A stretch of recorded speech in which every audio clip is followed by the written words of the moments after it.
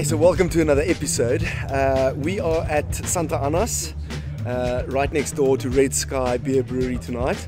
We got our own little food cart, which is quite exciting. It'll be the first time that I've ever really done anything in a food cart, so I'm quite excited for that. Um, as mentioned in the previous episode, Piet will be with us and we are going to be making some tacos.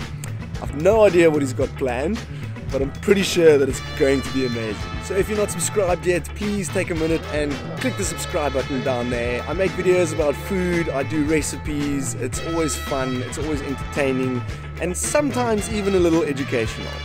Uh, but enjoy this one, guys.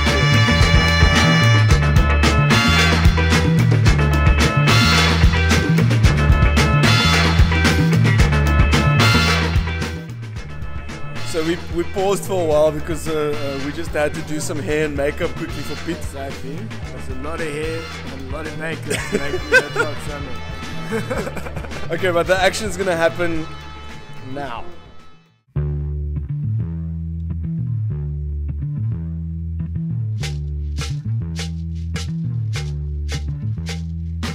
So, so we go through a lot of effort to uh, to produce organic corn tortilla that that that that really you know produces very specific flavor. And one of the few people that we trust to work with our tortillas is Daniel over here. Every Friday night you can dine with Daniel at Red Sky Brewery and you can have a taco, man. Do you want a taco, man? Who wants a taco? I want a taco, man. I'll have a taco. What taco are you cooking me today, man? Right tonight on the on the taco menu, uh, we got some uh, some beautiful yellowtail, uh, which we picked up from Gordons Bay Fisheries. Uh, beautiful fresh, which we've just marinated in a bit of uh, a bit of peppers. There's some uh, fresh coriander in there, uh, a bit of um, Cajun spice as well, olive oil, garlic. You know, just all, all sorts of goodness in there, and we basically just prepare it simply. Uh, the taco shells are, are, are, are, a pretty gift product, so you don't really have to do too much to them. What I really like about the, the choice of fish here, yellowtail is one of the few green fish that we have in South Africa Exactly. that still has a bit of an oil content Yes. to it.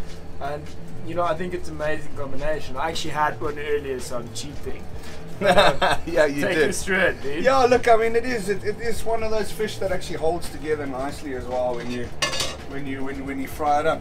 Piet, if I can ask you, in that door, I just saw something that I Yes, really, you really shouldn't enjoy have seen quite it. a lot. this is a fermented chili sauce that Daniel makes that Yes, I'm, that I'm quite our- addicted to.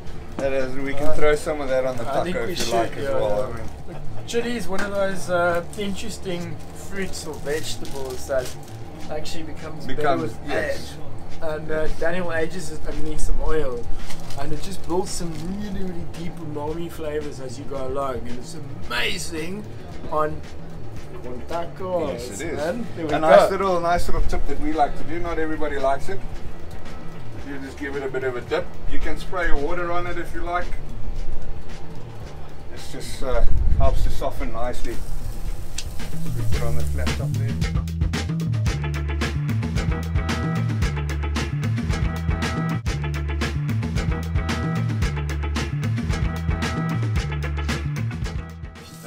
There we go. We've got all of our fish in there. It's nice with the peppers and the, the, the green and yellow peppers, the red onions in there, and the, of course the fresh coriander.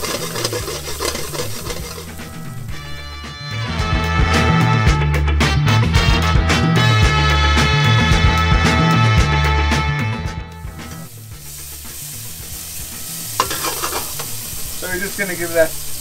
We're just cooking it through. We don't really want to overcook it. You want to still keep a bit of the softness. You know, when you work with a fresh product like that, you don't really overcooking. It's just torture, I think. You know.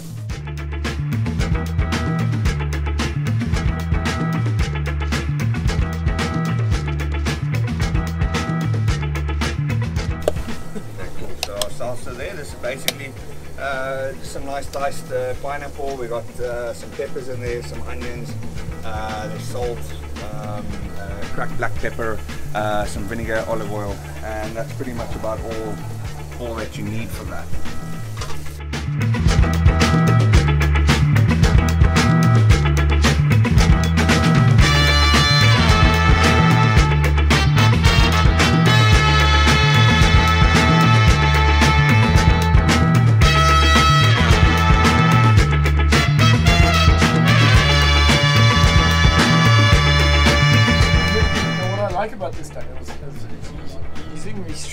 The amount of um, protein putting in taco. A, a taco is a snack. Um, Yeah. a taco originally means to fill a gap, right? So you just want to really take the hunger on the edge off. You, I- you don't want to have a massive meal. Uh, and I think that that's one of the biggest issues that we have with, with tacos. Everybody wants, everybody's looking for value for money, and people when you when you make a taco, they expect it to be piled full of chicken and full of the meat and this and that, and it's, you lose the essence. It must be something small and dainty. Light snack that that's kicks it. down. Yeah, it must. It must Yeah. kick. It, it must kick a t- uh, kick a punch. You know, it must.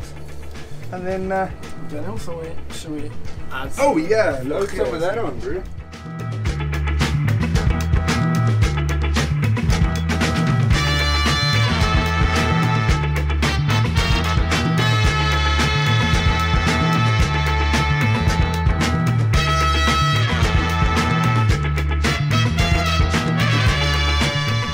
Just that little kick of lime, a little bit, a couple Always of drops, citrus, huh? makes the world of difference to anything over your steak, over a piece of chicken, over your salad, anything. Just that little extra little bit of lime will rock your world. Should we do that? I think we should do. Cheers, man. Cheers, buddy.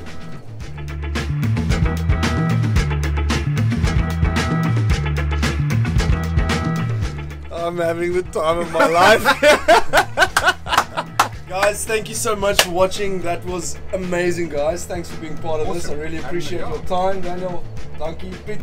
Oh, Awesome stuff. Yeah, guys, thanks for watching. We'll see you guys next week. Cheers.